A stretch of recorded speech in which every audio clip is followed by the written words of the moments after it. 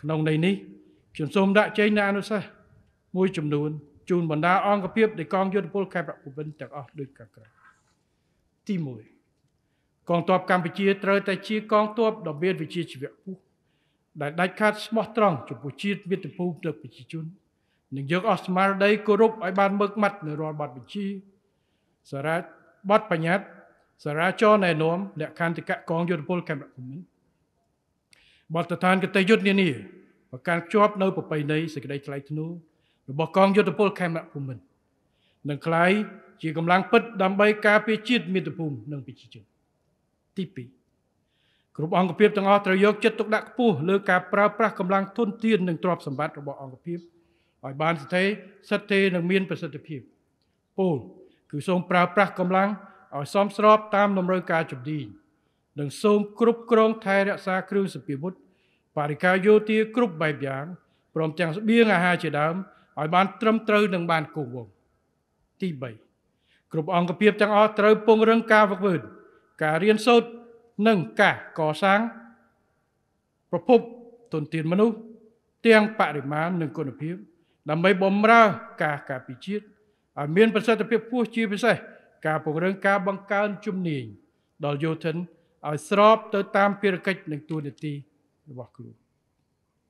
ទី4ខ្ញុំសូមណែនាំដល់អង្គភាពទាំងអស់យកចិត្តទុកដាក់ត្រៀមកម្លាំងមធ្យោបាយសម្ភារៈគ្រប់បែបយ៉ាង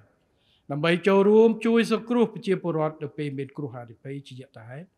ត្រូវមានស្មារតីបរិយាកម្មព្រមទាំងសហការឲ្យបានល្អក្នុងស្មារតីបរិយាកម្មជាមួយនឹងអាជ្ញាធរដែនដី និងក្រសួងស្ថាប័នពាក់ព័ន្ធទី5ខ្ញុំសូមលើកទឹកចិត្តដល់អង្គភាពទាំងអស់ ជំរុញការកសាងសេដ្ឋកិច្ចនៅនឹងកន្លែងដើម្បីចូលរួមលើកកម្ពស់ជីវភាពកងទ័ព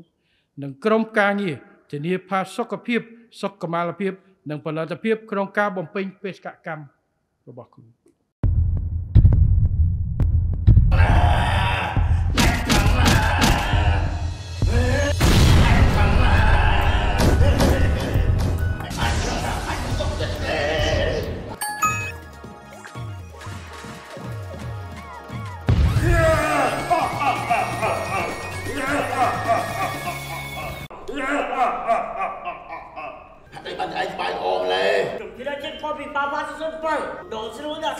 ខ្ញុំលេងវិញឆ្នាំបិទសុវត្ថិភាពគ្មានហានិភ័យទេដាក់5ដុល្លារឆ្នាំ5ដុល្លារខ្ញុំចាប់តែមើលទីតាំងទៅសម្រាប់ការដាក់ប្រាក់បានលុយបុតរបស់កើមែនយ៉ា